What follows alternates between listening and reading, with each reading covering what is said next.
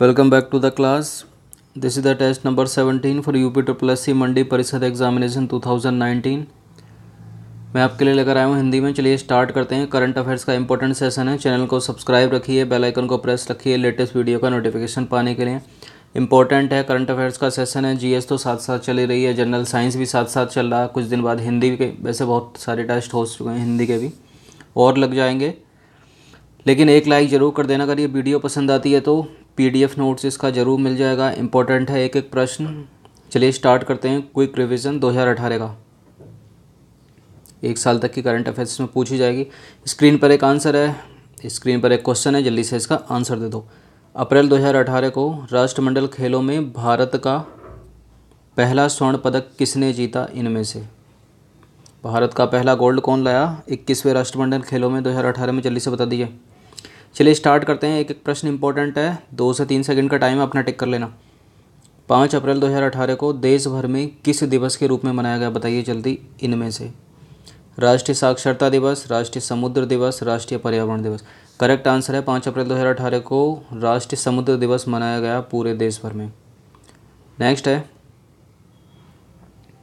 अप्रैल 2018 को इक्कीसवें राष्ट्रमंडल खेल, जिनको बोलते हैं कॉमनवेल्थ गेम्स खेलों की पहली पदक विजेता कौन बनी? पहली पदक विजेता बनी, ध्यान देना, इनमें से कौन है वो? वो किसी भी देश की हो सकती है। कौन बनी है? तलाह रॉबर्टसन। कौन बनी है? नाम है इनका तलाह रॉबर्टसन। क्या है ये? ये एक अमेरिका की मुक्केबाज हैं। ऑस्ट्रेलिया की मुक्केबाज हैं, सॉरी।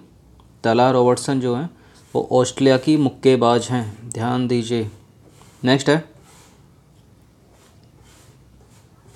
अप्रैल 2018 को राष्ट्रमंडल खेलों में भारत का पहला स्वर्ण पदक किसने जीता?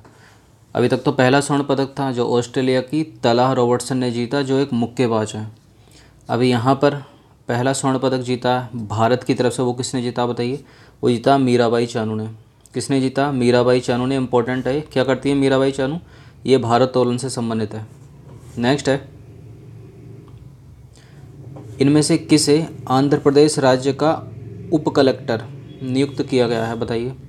आंध्र प्रदेश राज्य का उप कलेक्टर कौन नियुक्त किया गया इनमें से 2018 में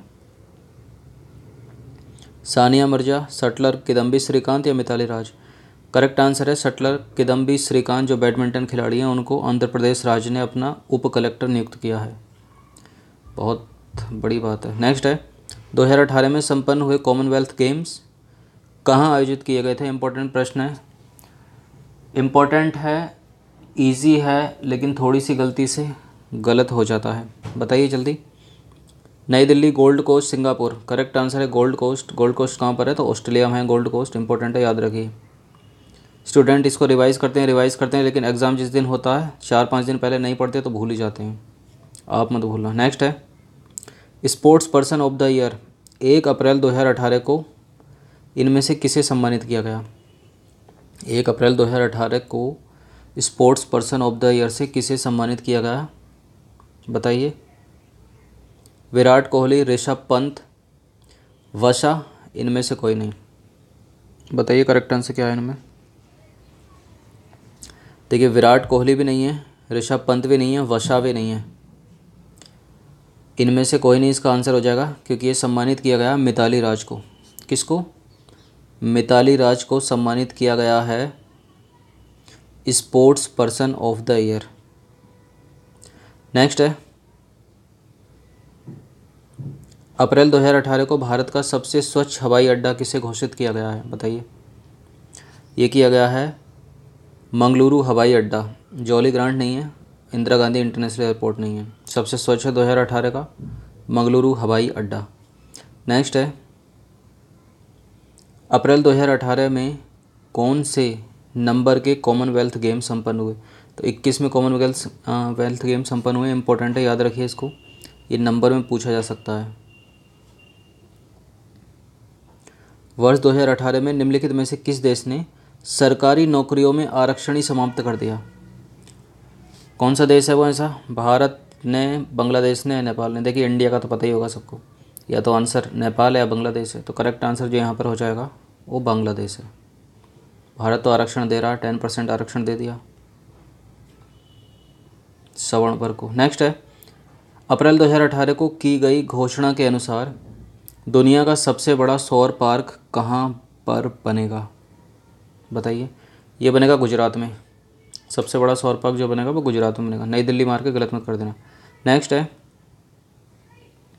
छः अप्रैल 2018 को विश्व स्तर पर किस दिवस के रूप में मनाया गया? किस दिवस के रूप में मनाया गया? छः छः अप्रैल 2018 को। तो अंतर्राष्ट्रीय खेल दिवस के रूप में मनाया गया। किसके रूप में? अंतर्राष्ट्रीय खेल दिवस के रूप में। नेक्स्ट है। 2018 का संतोष ट्रॉफी फुटबॉल टूर्नामेंट किसने जीता बताइए? किसने जीता? देखिए, केरल ने जीता है, लेकिन किसको हरा कर जीता है? तो बंगाल को हरा कर जीता है, केरल ने। उत्तर प्रदेश नहीं है, मध्य प्रदेश नहीं है। तो संतोष ट्रॉफी टूर्नामेंट 2018 का जीता है केरल ने। किसको हराया है? बंगाल को हराया इंपॉर्टेंट है। नेक्स्ट है। वर्ष 2018 में किन दो देशों के बीच पहली कंटेनर ट्रेन के ट्रायल रन को कलकत्ता शहर से हरी झंडी दिखाई गई? बताइए किन दो देशों के अब देखिए, कलकत्ता मान लीजिए इस तरफ़ है वेस्ट बंगाल तो उसके सटीक कौन सा देश हो सकता है? ऐसा तो ट्रेन कहीं पे भी मूवमेंट कर सकती है, कलकत्ता से मान लीजिए नेपाल भी जा सकती है, नीचे श्रीलंका की तरफ़ भी। बांग्लादेश की तरफ़ भी। लेकिन यहाँ करेक्ट आंसर है, भारत और बांग्लादेश के बीच पहली कंटेनर ट्रेन चलाई गई है ट्रायल के लिए। उसका ट्रायल हो गया, अब वो रेगुलर चलेगी। कहाँ से चलेगी? भारत और बांग्लादेश के बीच चलेगी। नेक्स्ट है कंटेनर भर कर जाएँगे उसमें। बारह अप्रैल, जिसमें क्रूड ऑयल भी जा सकता है, आ भी सकता है। और भी जो कच्चा माल है, जो आपसी सीमाओं के बीच आदान प्रदान करते हैं एक दूसरे से राष्ट्र। नेक्स्ट है, चलिए। बारह अप्रैल 2018 को विश्व के नंबर वन पुरुष बैडमिंटन खिलाड़ी कौन बन गए इनमें से? देखिए, पुरुष बैडमिंटन खिलाड़ी बोल रहा है, विश्व का वो भी। देखिए, नवाक जोकोविच तो टेनिस खेलते हैं, मारिया सरापोवा महिला ऊपर से टेनिस खेलते थे, ये तो होगा नहीं। किदम्बी श्रीकांत है इसका आंसर। इंपॉर्टेंट है, याद रखिए, बैडमिंटन खिलाड़ी। 2018 को दादा साहब फाल्के पुरस्कार से किसे सम्मानित किया गया? अमिताभ बच्चन, स्वर्गीय अभिनेता विनोद खन्ना है स्वर्गीय अभिनेता कादर खान, बताइए। करेक्ट आंसर है, स्वर्गीय अभिनेता विनोद खन्ना को मिला है 2018 का दादा साहब फाल्के पुरस्कार। ये इंपॉर्टेंट है, याद रखिए इसको। नेक्स्ट है 2018 का पूछे तो। डॉक्टर अंबेडकर राष्ट्रीय स्मारक का उद्घाटन किया गया, कहाँ पर किया गया इनमें से बताइए। लखनऊ, नई दिल्ली, बनारस यह सभी जगह बनाए गए हैं। तो देखिए, सभी जगह नहीं बनाए गए केवल एक जगह बनाया गया, ये नई दिल्ली में बनाया गया डॉक्टर भीमराव अंबेडकर स्मारक।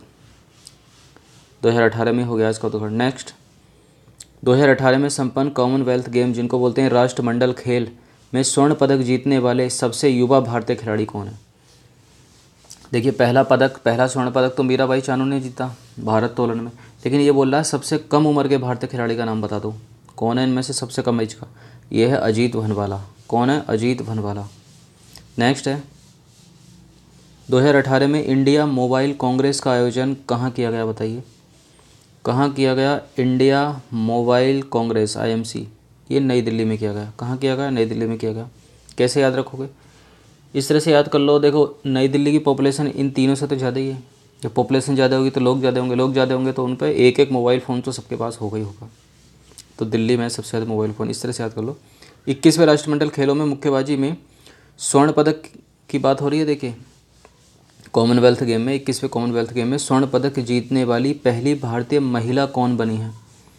तो कौन बनी है? देखिए, विजेंद्र सिंह महिला तो है नहीं तो कट जाएगा ये। मीराबाई चानू भारत तोलन खेलती हैं तभी भी कट जाएगा। एम सी मेरी कॉम बनी है इंपॉर्टेंट है। नेक्स्ट है। इक्कीसवें राष्ट्रमंडल खेलों में भारत का कौन सा स्थान रहा? बताइए।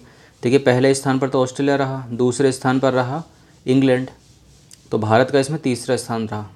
इंडिया जो था, वो तीसरे स्थान पर था। नेक्स्ट है। इक्कीसवें राष्ट्रमंडल खेलों में भारत ने कुल कितने पदक जीते थे? तो छियासठ पदक जीते, जिनमें से छब्बीस गोल्ड थे, याद रखना। अगर गोल्ड आ जाए तो छब्बीस गोल्ड थे, टोटल थे छियासठ। नेक्स्ट है, इक्कीसवें राष्ट्रमंडल खेलों में प्रथम और द्वितीय स्थान पर कौन से देश रहे? देखिए, अभी बताया मैंने, कनाडा, ऑस्ट्रेलिया नहीं है, भारत, ऑस्ट्रेलिया नहीं है। पहले स्थान पर देखिए, ऑस्ट्रेलिया रहा, दूसरे पर रहा, इंग्लैंड। भारत का तीसरा स्थान है। निम्नलिखित में से कौन 2018 में देश का मतलब भारत देश का, सर्वाधिक वेतन देने वाला शहर बन गया इनमें से? कौन है सर्वाधिक वेतन देने वाला शहर इनमें से? बंगलुरु है, नई दिल्ली है, लखनऊ है। लेकिन लखनऊ तो है नहीं। या तो आंसर नई दिल्ली या बंगलुरु है। लेकिन बंगलुरु ने नई दिल्ली को भी पीछे कर दिया है तो नई बंगलुरु ने सबसे ज़्यादा वेतन दिया दो हज़ार अठारह में, जो भी वहाँ लोग काम कर रहे हैं। प्राइवेट सेक्टर हो या फिर गवर्नमेंट सेक्टर। नेक्स्ट है निम्नलिखित में से किस देश ने 35 वर्षों के बाद पहली बार मूवी थिएटर खोला है? पहली बार मूवी थिएटर खोला है किस देश ने? तो ये खोला सऊदी अरब ने। किसने खोला? सऊदी अरब ने खोला है। नेक्स्ट और अंतिम प्रश्न की ओर बढ़ते हैं। आर्थिक स्वतंत्रता सूचकांक 2018 आर्थिक स्वतंत्रता सूचकांक 2018 में भारत का कौन सा स्थान रहा, बताइए? 130 निन्यानवे या हंड्रेड? या इनमें से कोई नहीं। देखिए, आर्थिक स्वतंत्रता सूचकांक जो इकोनॉमिक फ्रीडम रिपोर्ट है 2018 की, उसमें भारत का जो सूच नंबर है, वो एक स्थान है। कौन सा स्थान है भारत का? एक स्थान है, याद रखना इसको। तो चलिए, सारे के सारे इंपॉर्टेंट करंट अफेयर्स जो बन सकते थे इस क्लास के लिए कंप्लीट हो गए हैं दो हज़ार अठारह के। देखिए, एक साल तक की करंट अफेयर ज़रूर पूछेगी क्विक रिवीजन आप लोगों का हो चुका है, काफ़ी फंस जाएगा इनमें से। सब्सक्राइब रखिए चैनल को बेल आइकन को प्रेस रखिए। अगर ये वीडियो पसंद आती है तो एक लाइक ज़रूर करना। शेयर कर दीजिए। देखिए यूट्यूब का लिंक तो पता ही होगा आपको। फेसबुक पेज को ज्वाइन ज़रूर कर लेना जाकर। टेलीग्राम को ज्वाइन कर लीजिए। ये इंपॉर्टेंट है, क्योंकि बल्क में सारे पीडीएफ एक साइड प्रोवाइड किए जा सकते हैं एग्ज़ाम आने से पहले। बहुत सारे स्टूडेंट कहते हैं, सर पीडीएफ भेज दो पीडीएफ भेज दो। तो सारे के सारे पीडीएफ लिंक में नहीं दिए जा सकते वीडियो के नीचे। लेकिन आप अगर टेलीग्राम से जुड़े होंगे तो सारे के सारे एक साथ भेज दूँगा। पीडीएफ नोटिस का मिल जाएगा कुछ देर बाद। तो चलिए, जो स्टूडेंट भी इन सभी एग्ज़ाम की तैयारी कर रहा है, वो इस चैनल से आकर जुड़ सकता है। धन्यवाद।